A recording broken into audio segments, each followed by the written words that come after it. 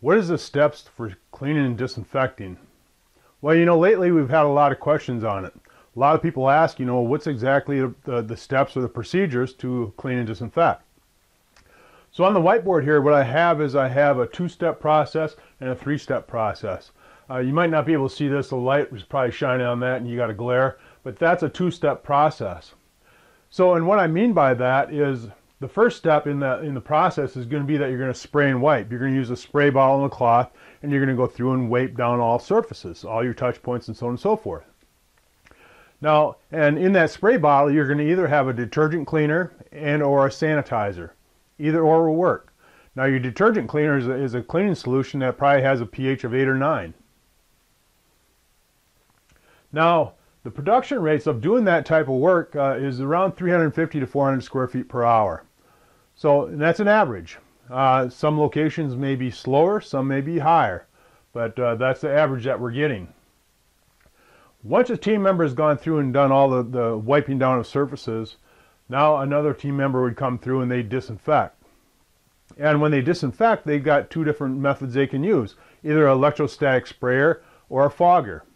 So in either case, all they're going to do is that they're going to spray, the, you know, apply the, the, the solution and just let it air dry.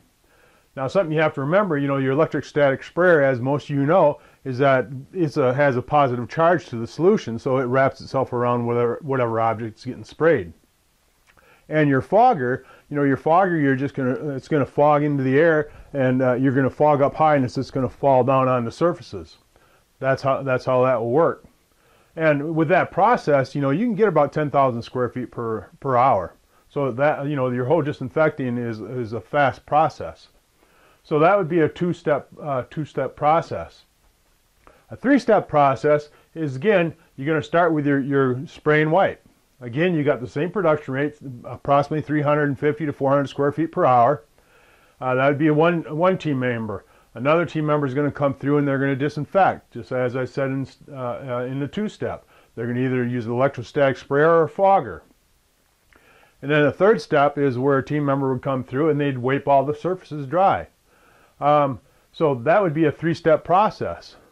And, um, you know, in any case, you got to have the proper PPE.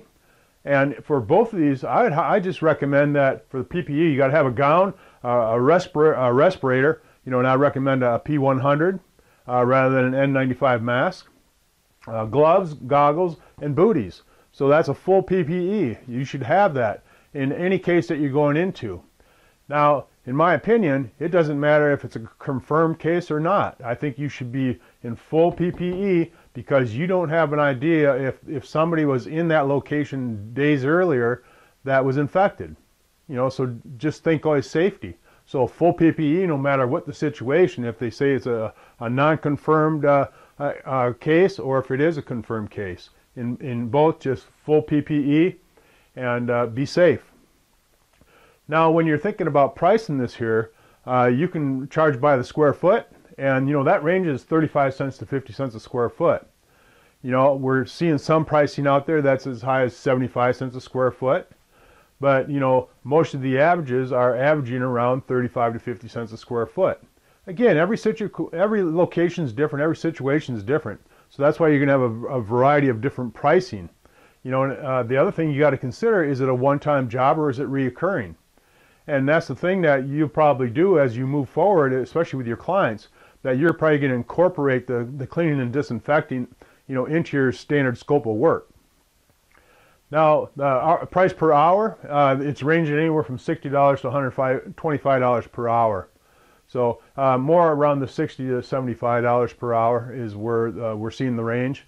So that will give you a, uh, you know, an idea of where to price these services.